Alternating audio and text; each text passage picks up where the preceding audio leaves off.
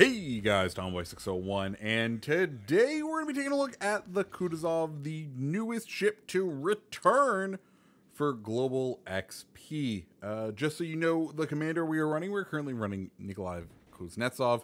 Uh, this ship, all about starting those fires, and you're going to see just that as as we play this game.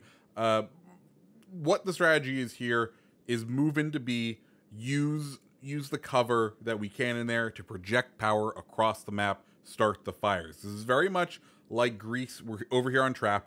Uh, B spawn on on on Trap is very much just like the B spawn on Greece.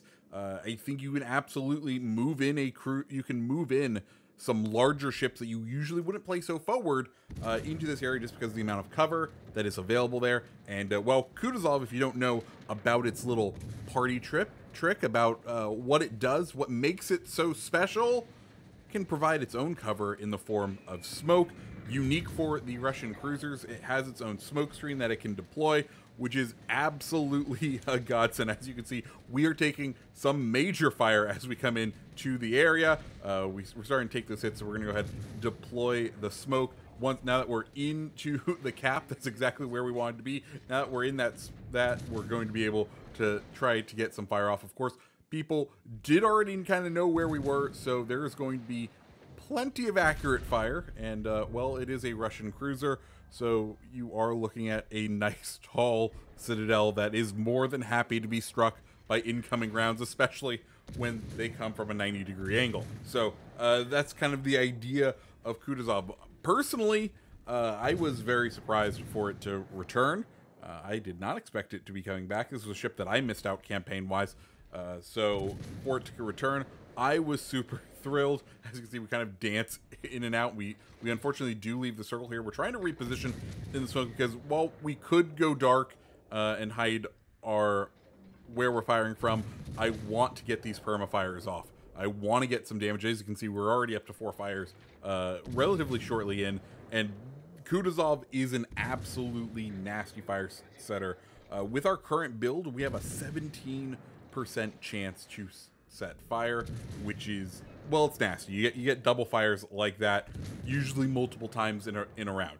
So you can expect double digit fires by the end of a match if you can last, if you can go the distance with this ship. Republic is like, nah, I'm out of here. He he drops spot. That's fine by us. We're to try to chill right at the edge of our smoke right here.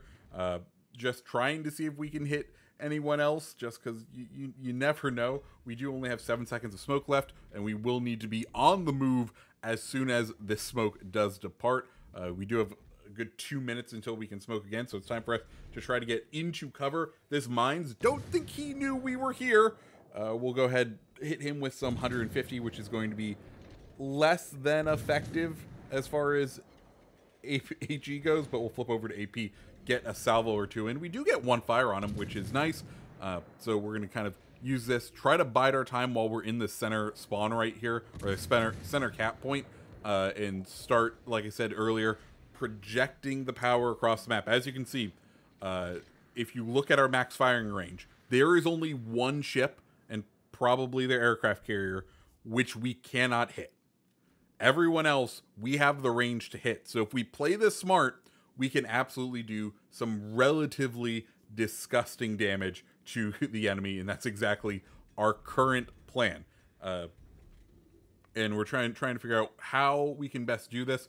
It does look like our friends over in A are the ones who need the support. Looking at the minimap, we really only have what two assets over there anymore. It looks like the carrier's kind of over there. We have a cruiser and we have a battleship.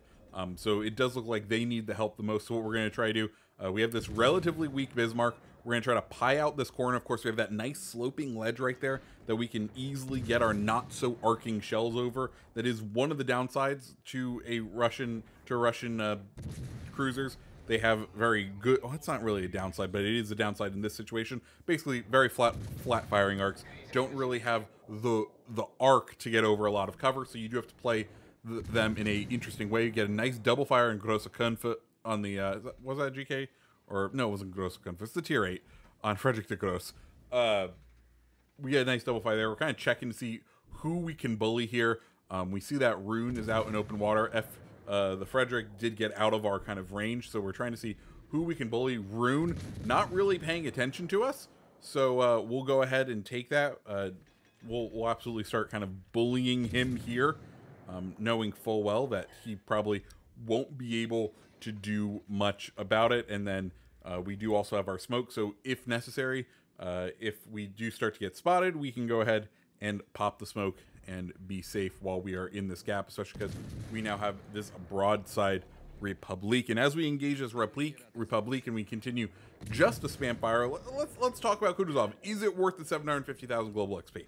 Um, I one, I think it's a great chip. It's a ton of fun. Uh, it does definitely bring something unique to the uh, to the cruisers, to the uh, Russian cruisers that we don't currently have.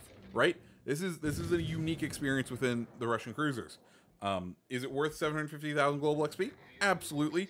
Uh, would it be my first pick right now? I think it's up there. Um, I don't know if if it, if it would be my number one pick, especially since we have the ghost of Elbing out there. I do have a feeling we're we're we're not going to see Elbing return for probably another year, but we'll, we will always have that ghost kind of hanging over us for until it returns. We know it's coming back for global XP. And do do I want to risk as a person not having enough global XP when that ship returns? No, because I really really enjoyed Elbing. So I wouldn't pick up Kutuzov immediately. But if you're someone who either A doesn't care doesn't care about Elbing um, and likes cruiser play, I think Kutuzov is a is a fun one. Uh, you don't have a radar, but you do get the smoke and the sonar, which is absolutely nice. We can see. We also have pretty decent torpedoes, or I should say decent torpedoes for a Russian ship, because uh, those those torpedoes do have a range of, I believe, eight kilometers, which you know is decent for uh, for the Russian boats, who usually have uh, very tiny ones. Also, we are so lucky to have survived this hit right here. Um, thank God. We're gonna go ahead and duck behind this cover once again. Um, but yeah, I think Kutuzov, ton, tons of fun ship. We get the Witherer, nice. also, we're up to 18 fires, which is beautiful. Uh, I think Kutuzov very much a a ship that uh, plays a little bit differently. You know, it kind of feels like a Chapayev uh, with smoke, but I think the smoke does really help out. Mind you, it is it is a very fire like it's a, a ship based about being in cover, about based around just trying to get the hits off, trying to get the fire started. It is an HE spammer. That's not the kind of role you like to play. You may not enjoy playing this, but I think, uh, especially this update, we have a couple of ships. This and Belfast uh, kind of came back because Belfast has the buff. And if I was forced to choose between one of those two ships, I think uh, I think Kutuzov is definitely the choice that I would go with between the two because uh, Belfast, even with the buffs, we'll we'll talk about that later. Anyways, guys, Kutuzov, fun ship. If you liked the video, go ahead hit the like button, hit the subscribe button. We didn't get uh, any, we got one kill, but we did end up top scoreboard. Guys, if you like the video, go ahead hit the like button, hit the subscribe button, and I hope you have a fantastic rest of your day. See ya.